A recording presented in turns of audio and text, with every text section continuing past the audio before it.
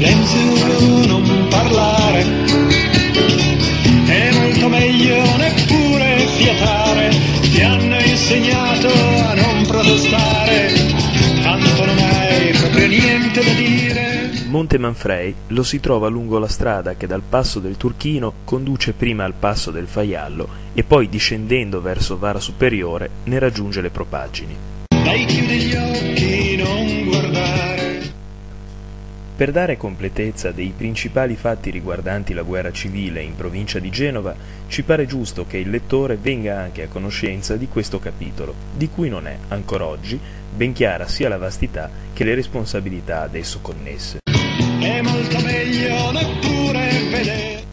Monte Manfrei, per chi come noi ha vissuto il dopoguerra con l'eco delle stragi nell'orecchio e la demonizzazione successiva della nostra storia, ha un significato fosco e pauroso insieme.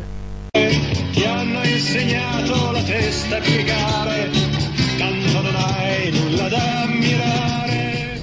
Già nei giorni successivi alla guerra si sussurrava di una mattanza accaduta nella zona del passo del Faiallo. Ricordi personali dicono che per nascondere tale scempio si era fatta esplodere una collinetta per celare sotto i detriti l'orribile fatto.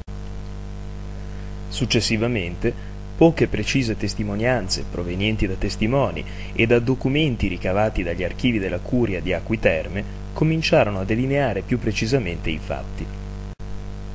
Si trattava di oltre 200 marò della San Marco, tutti militari estremamente giovani, in parte fatti prigionieri grazie ad un ufficiale che trattò il disarmo con i partigiani e che sparì nel nulla, salvandosi.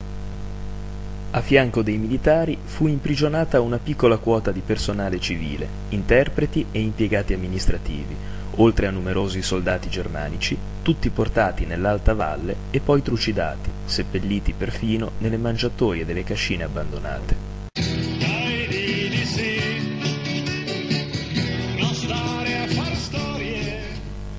Dalla valle dell'Orba li concentrarono all'albergo Appennino di Palo e poi, da Palo, transitando per Vereira e Piampaludo, li condussero verso Vara Inferiore, da dove, per una mulattiera tra i boschi, giunsero nella casa denominata Villa del Rostiolo, in località La Romana. Ti hanno insegnato a non pensare, tanto non hai nulla da negare. Altri, per giungere alla Villa del Rostiolo, vennero condotti lungo la provinciale che da Rossiglione porta a Martina, Urbe, San Pietro. Per almeno 48 ore rimasero là rinchiusi per dare il tempo di preparare, presso i luoghi delle esecuzioni, le fosse per seppellire i morti. Prima dell'alba e per le 24 ore successive vennero avviati a gruppi verso le zone situate tra la località La Romana e il passo del Faiallo.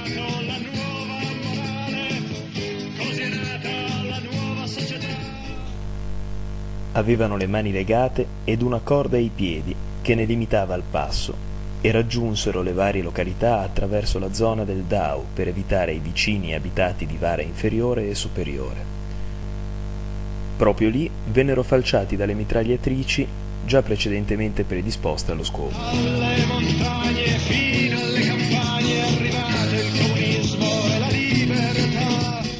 Le fosse rettangolari erano state scavate nel sottobosco e poi facilmente mimetizzate con le foglie che ricoprivano il terreno.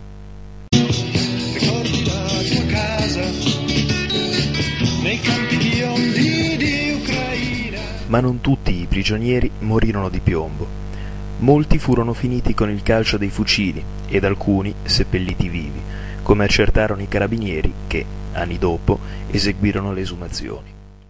Ti hanno insegnato a non ricordare, tanto è solo dolore da scordare. I documenti della divisione San Marco, pur inserendo i caduti del Manfrei nell'elenco degli ignoti, non dicono di più. La compagnia comando regimentale del quinto reggimento viene considerata perduta corpo e beni durante la ritirata per Acqui Terme e si parla, in poche righe, della sorte dei Marò. Si dice solo che vengono disarmati in cambio della promessa di aver salva la vita.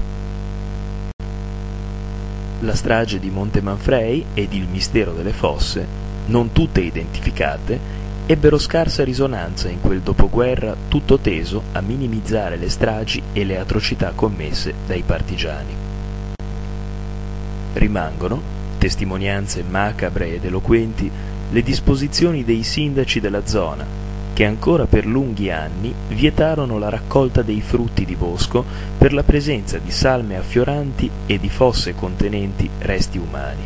Sono passati come fanno sempre, coi carri armati dentro le città, ma questa Europa, patria di vigliacchi, ha chiamato tutto questo democraticità.